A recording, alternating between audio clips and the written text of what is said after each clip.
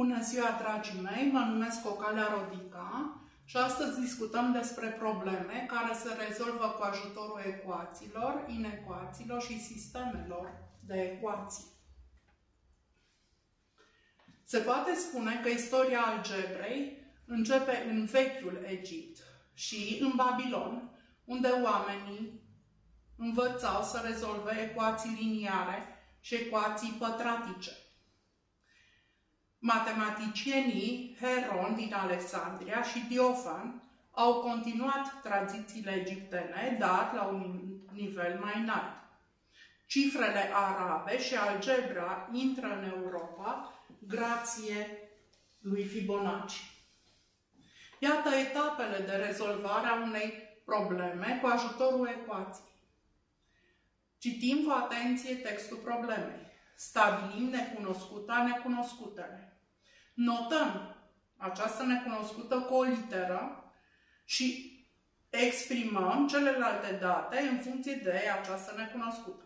Scriem ecuația sau ecuațiile corespunzătoare datelor problemei.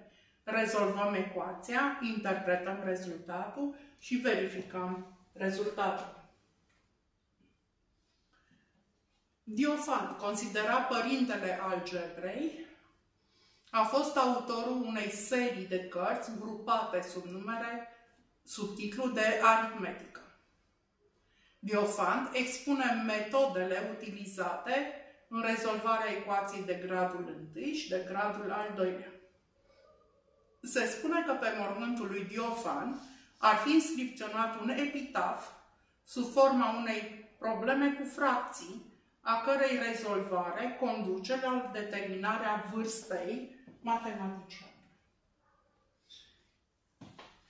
Călătorule, aici odihnesc osemintele unui om bun care a trăit o viață lungă și plină de virtuți. Copilătria lui a ținut o șesime din viață.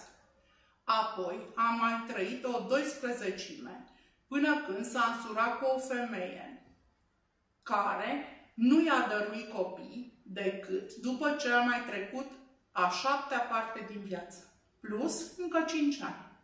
Iar fiul său, soarta i-a hărăzit să trăiască doar jumătate din viața părintelui.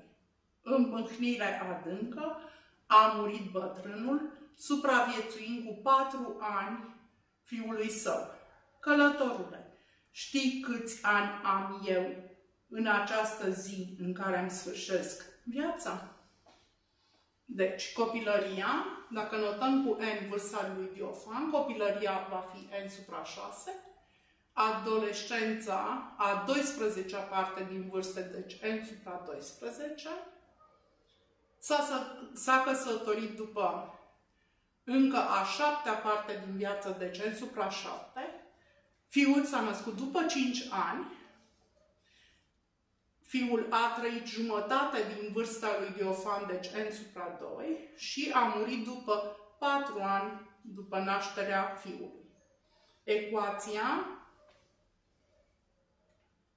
este următoarea, deci N, unde N este vârsta decesului la care a decedat Diofan, va fi egal cu N pe 6 plus N pe 12 plus N pe 7 plus 5 plus N pe 7, N pe 2 plus 4 numitorul comun între 6, 12 și 2, numitorul comun e 12, da?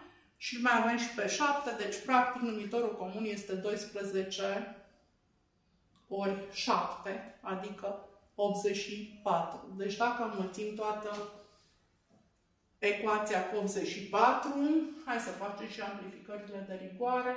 Deci prima amplificată cu 84, a doua, amplificată cu 14, n pe 12 îl amplific cu 7, n pe 7 îl amplific cu 12, 5 cu 84, n pe 2 amplificat cu 42 și 4 amplificat cu 84.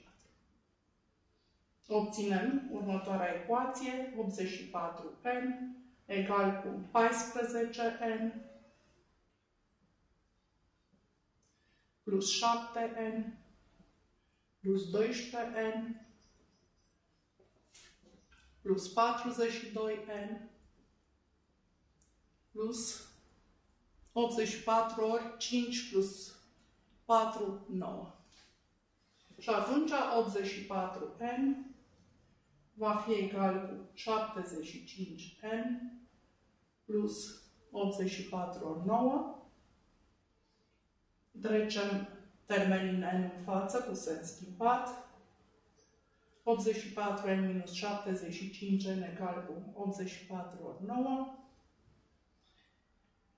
Deci 9n egal cu 84 ori 9, de unde n egal cu 84 de ani. Deci Diofant a trăit 84 de ani. Un alt exercițiu. Bună ziua, 100 de gâște. Nu suntem 100, dar dacă am fi încă atâtea, încă jumătate din cât suntem, încă un sfert din câte suntem și cu tine, atunci am fi 100. Câte gâște sunt în cât? Deci dacă notăm cu X numărul de gâște, avem ecuația. Deci nu suntem 100, deci dacă am mai fi încă atâtea, adică suntem X plus încă atâtea, plus încă jumătate, adică X pe 2, plus încă un sfert, x pe 4, și cu tine, adică plus 1, egal 100. X plus x este 2x, plus,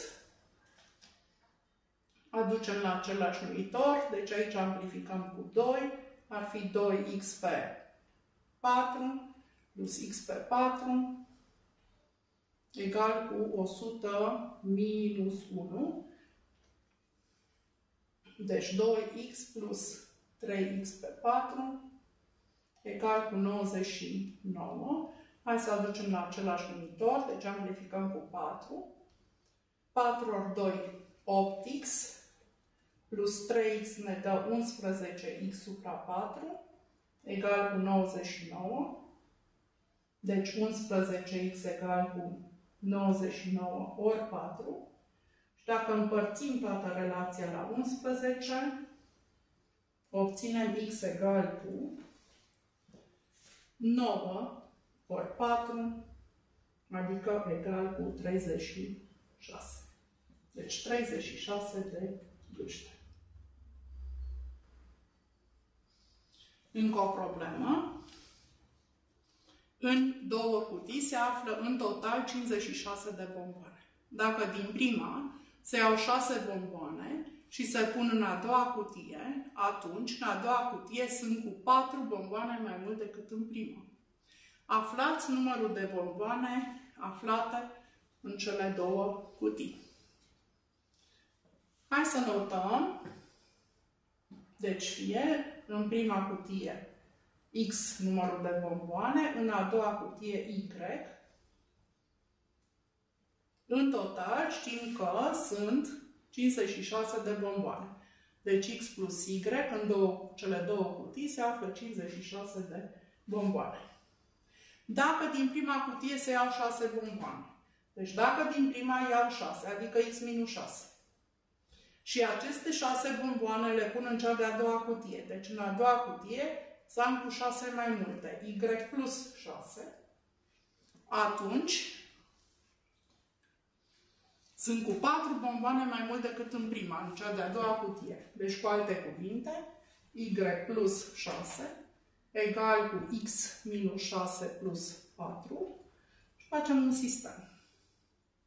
Deci x plus y egal cu 56, îl trecem pe x în față cu semn schimbat, deci avem minus x plus y egal cu Minus 6 plus 4 este minus 2 și minus 6 trecut dincolo cu semn schimbat. E minus 6. Folosim metoda reducerii. Deci adunăm cele două relații. x minus x se reduc. y plus y ne dă 2y egal cu 56. Minus 2 minus 6 este minus 8. Deci 2y egal cu 48, de unde y egal 48 împărțit la 2, deci 24. Și acum haideți să înlocuim, da? Deci să facem substituție. Deci știm că x plus y este 56, cu y-ul 24. Înlocuim în prima ecuație, x plus 24 egal 56, de unde x egal cu 56 minus 24, x egal cu 32 de bomboane. Deci, în final, soluția x egal cu 32, y-ul egal cu 24. Mulțumesc pentru atenție, vă aștept pe data viitoare.